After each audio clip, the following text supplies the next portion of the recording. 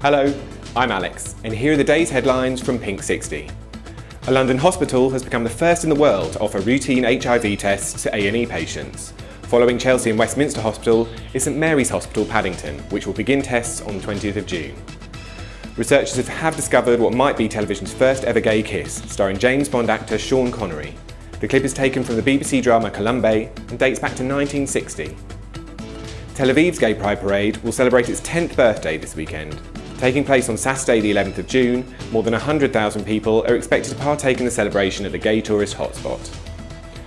A Toronto comedienne claims her invitation to perform at a high school was revoked after officials learned of her same-sex marriage.